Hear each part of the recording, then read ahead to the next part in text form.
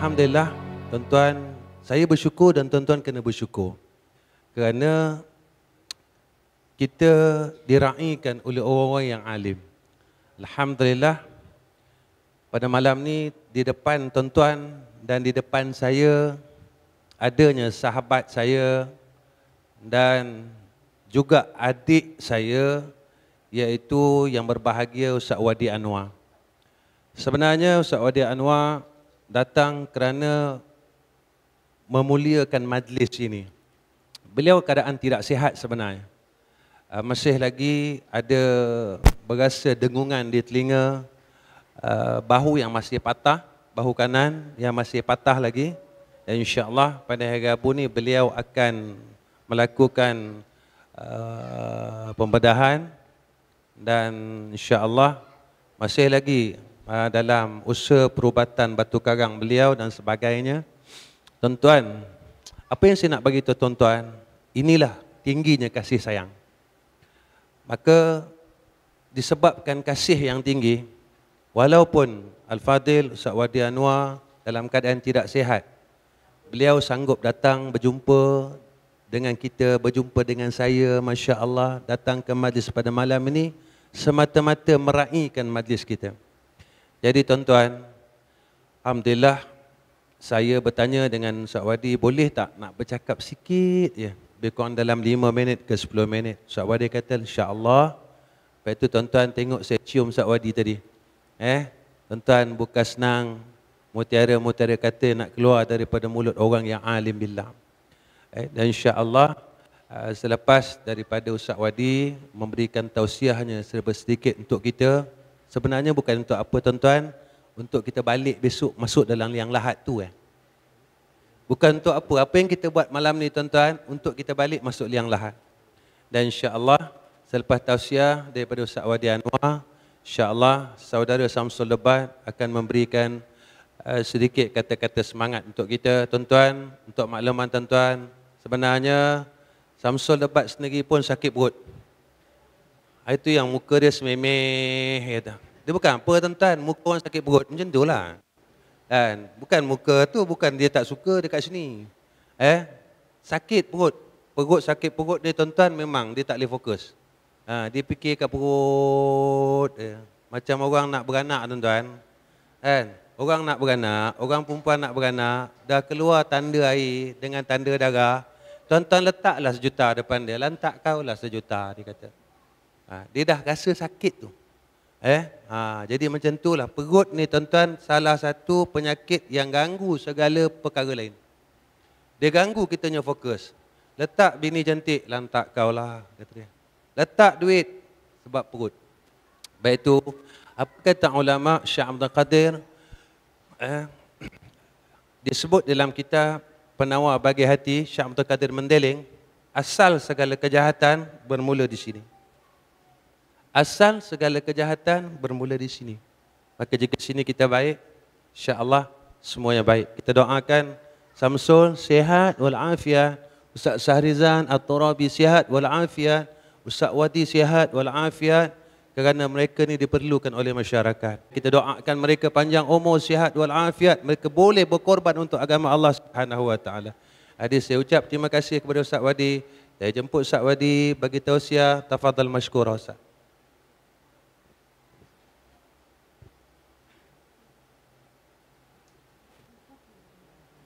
Assalamualaikum warahmatullahi wabarakatuh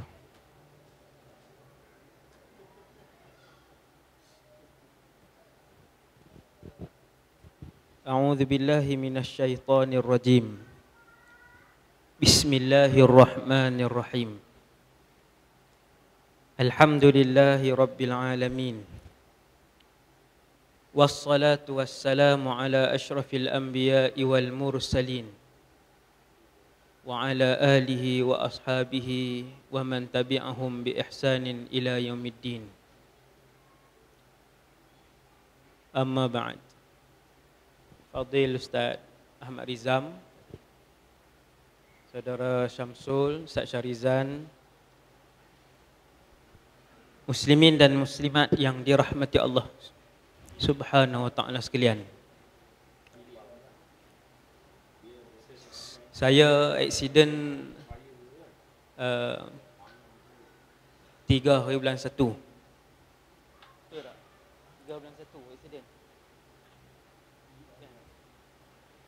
Uh, 3 hari bulan 1 Allah SWT takdirkan saya terlibat dengan kemalangan sama dengan arwah Ustaz Murtada dan juga ayah beliau dan Ustaz Hambali. Sehingga ke tarikh pada malam ni saya belum memberikan mana-mana kuliah dan ni adalah ucapan ataupun kuliah pertama saya lah kuliah ringkas daripada saya sejak daripada Allah rehatkan beberapa bulan yang lalu.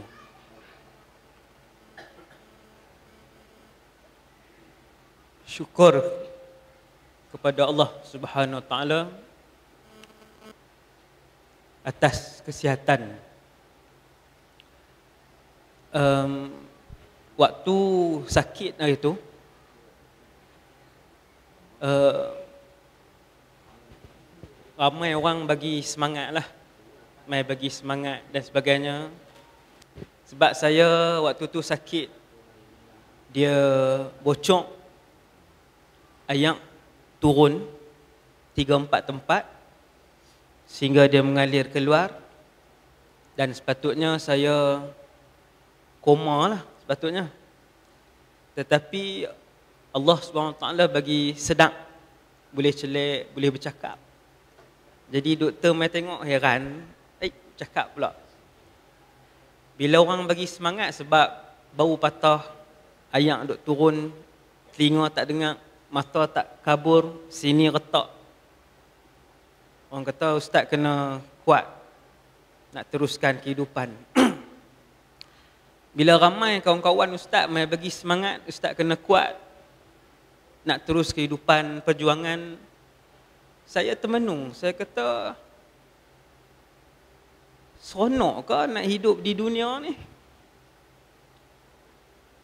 Jadi saya tak boleh nak kuat waktu tu sebab saya tak saya tak teringin dengan dunia ni saya tak teringin. Saya tak ada nafsu dengan dunia ni sejak daripada sebelum kemalangan tu sampailah kemalangan bila orang kata ustaz nak terus kehidupan ni saya saya jadi Memang saya tak mau dah, saya kata. Memang saya nak ke sana. Jadi perasaan tu jadi dua. Nak kuat ke? Kalau nak kuat untuk apa? Untuk hidup. Untuk nak nak bertemu dengan dunia ni. Kita teringin. Kan? Jadi nak bagi tahu kita semua cara memandang kehidupan dunia ni bukan maksudnya bermula malam ni semua uh, sila bercita-cita mati esok bukan macam tu bukan nak suruh semua bercita-cita untuk mati untuk kita membuang dunia ini daripada hati kita bukan daripada mulut dan tangan kita sahaja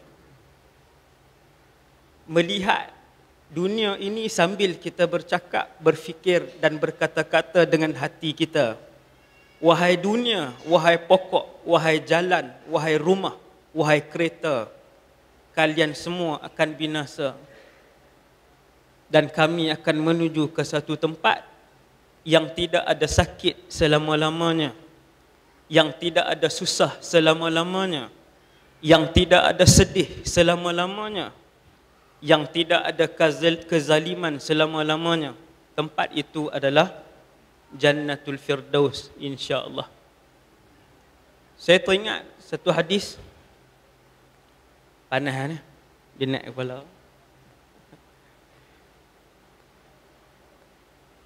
Bila Nabi berdoa kan hari ni satu rejab. Saya suka doa ni. Bila Nabi sebut Allahumma barik lana fi Rajabin wa Sya'ban. Ya Allah, Berkatilah kehidupan kami sepanjang Rejab dan Sya'ban. Balighna Ramadan. Ya Allah, bagilah kami sempat sekali lagi untuk tahun ini berada dalam bulan Ramadan. Tuan-tuan, Rasulullah sallallahu alaihi wasallam. 60 hari sebelum Ramadan Nabi dah ajak para sahabat untuk berdoa supaya sempat duduk dalam Ramadan. 60 hari sebelum Ramadan Nabi sudah minta dengan Allah Ya Allah Mula dan lipat kali gandakanlah keberkatan di dalam kehidupan aku dalam setiap kehidupan aku bermula daripada rejab ini. Ulama kata antara sebabnya ialah nak bagi tahu bahawa Rejab, Syakban dan Ramadan ini dia ada kelebihan dia yang tersendiri berbanding bulan-bulan lain yang juga ada kelebihannya. 60 hari Nabi berdoa dah, Ya Allah bagilah sampai Ramadan, bagilah sampai Ramadan. Kita pun sama. Cuba tengok lidah kita, cuba tengok hati kita. Berapa kali kita berdoa kepada Allah untuk Allah sampaikan kita ke dalam satu bulan yang merupakan bulan perayaan kepada umat Nabi Muhammad sallallahu alaihi wasallam. Kalau kita sebut cerita tentang Al-Imam Syafi'i, seorang dia aja, tak payah cerita yang seratus orang lagi. Imam Syafi'i khatam Quran 60 kali dalam bulan Ramadan. Sebilion setengah umat Islam hari ini tak ada seorang pun yang saya rasa boleh mencapai tahap ni. Ramai orang Islam tapi tak seorang pun boleh sampai. Kita bila dengar cerita Imam Syafi'i khatam 60 kali dalam bulan Ramadan kita kata macam kisah dongeng ya. Kan sebulan nak habis 30 juzuk pun susah.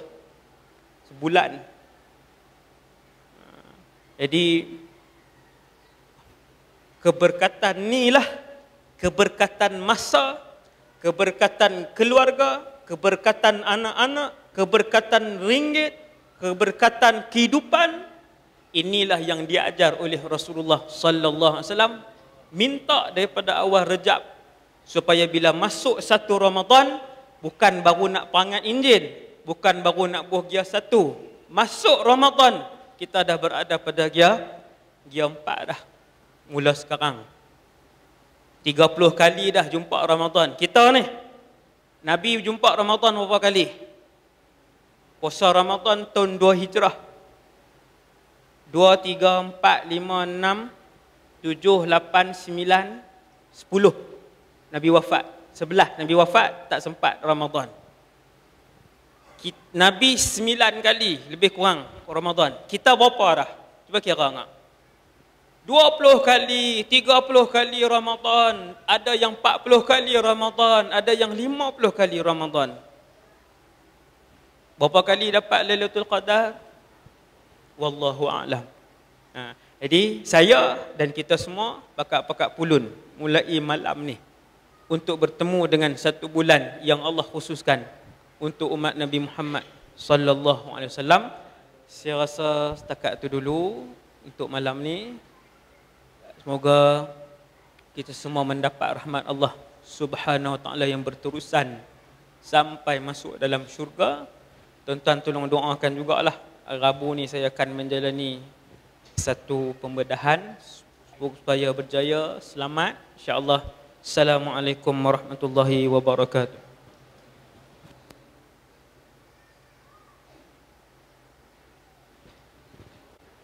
Waalaikumsalam warahmatullahi wabarakatuh.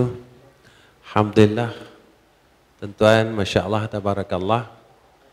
Uh, begitulah nilai tingginya kasih sayang apabila Nabi sallallahu alaihi wasallam menyatakan dalam satu hadis man la yarham la yurhamu siapa yang tidak ada kasih dalam diri dia la yurhamu dia tidak berhak mendapat rahmat daripada Allah dia tidak berhak mendapat kasih dari Allah bukan kalau kita tengok seperti bagi ke tausiah dalam keadaan tidak sehat. Tuan, apa yang saya bagi tuan-tuan? Berdirilah hati seorang ulama. Mereka tetap kalau boleh sehingga kan irisan darah mereka yang tak ada mereka akan berikan ruang untuk umat mereka akan bagi masa untuk umat mereka akan fikirkan bagaimana umat ini Begitulah tuan-tuan. Apabila jiwa ini jiwa yang disebutkan jiwa ummati. Aku sakit. Aku sakit. Tapi kerana Allah dan Rasul. Saya pernah berkata di dalam kuliah saya satu slot kuliah saya. Apabila orang bertanya dengan saya, Ustaz, kenapa Ustaz buat madrasah ini tanpa ada yuran yang wajib?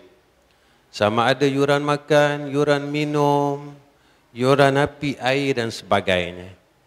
Saya kata satu ya.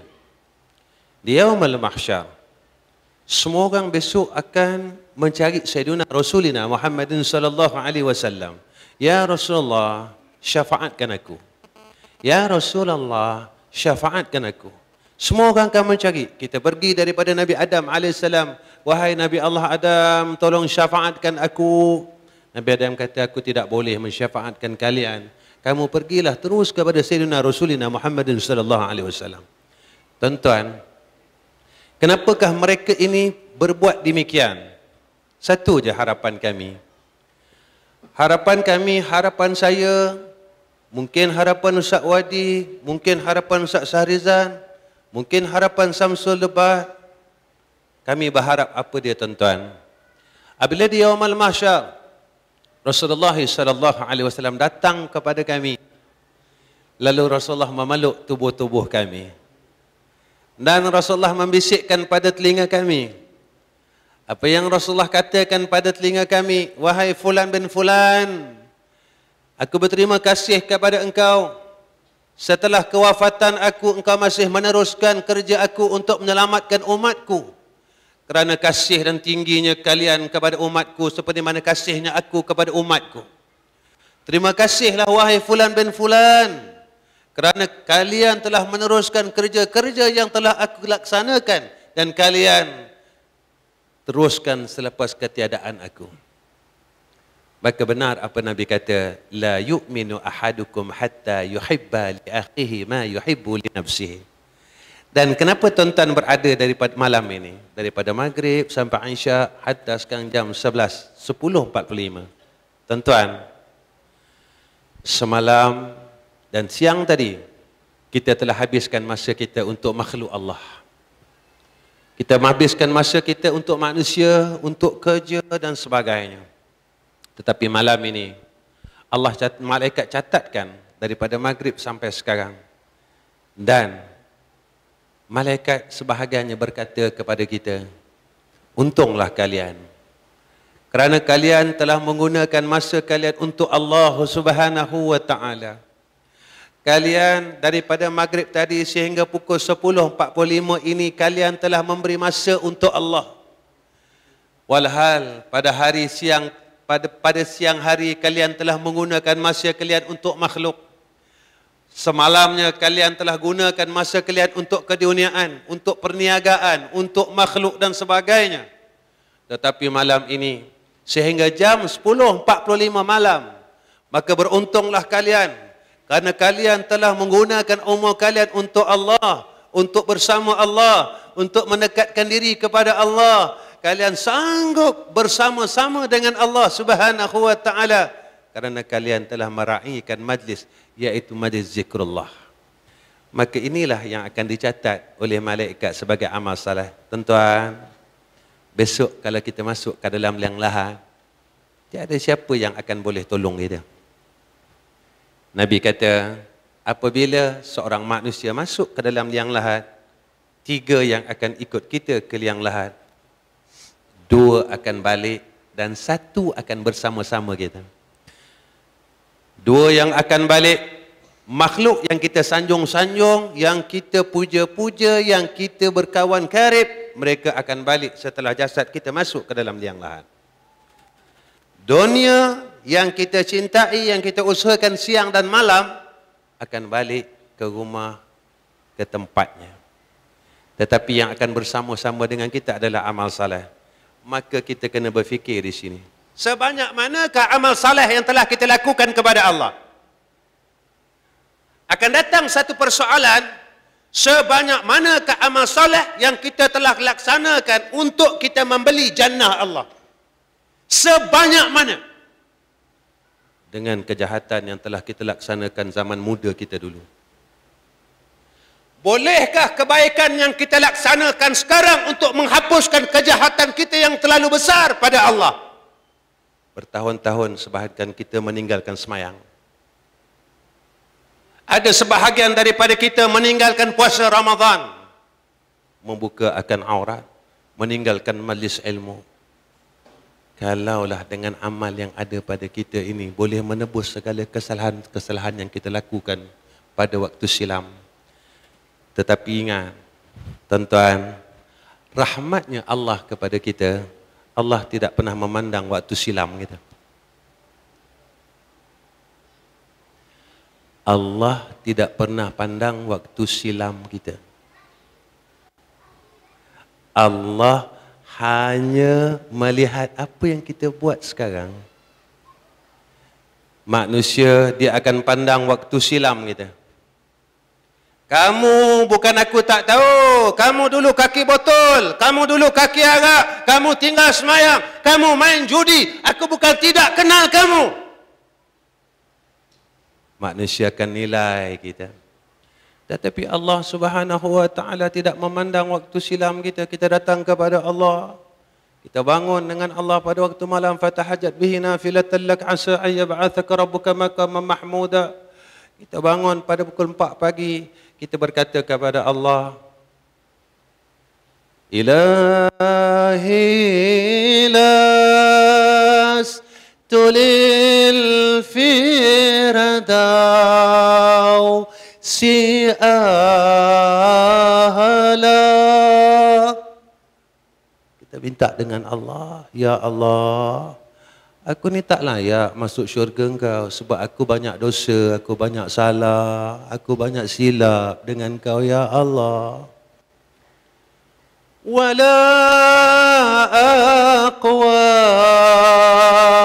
ala naril jahimi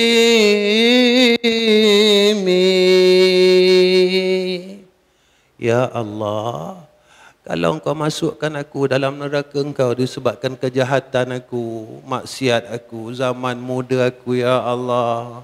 Wala aqwa, aku tidak kuat ya Allah. Wala aqwa ala naril jahimi. Fahabali tawbat tawafir zunubi fa inna qara fir zambil azimi. Ampunkanlah. Maka Allah kata la ubali.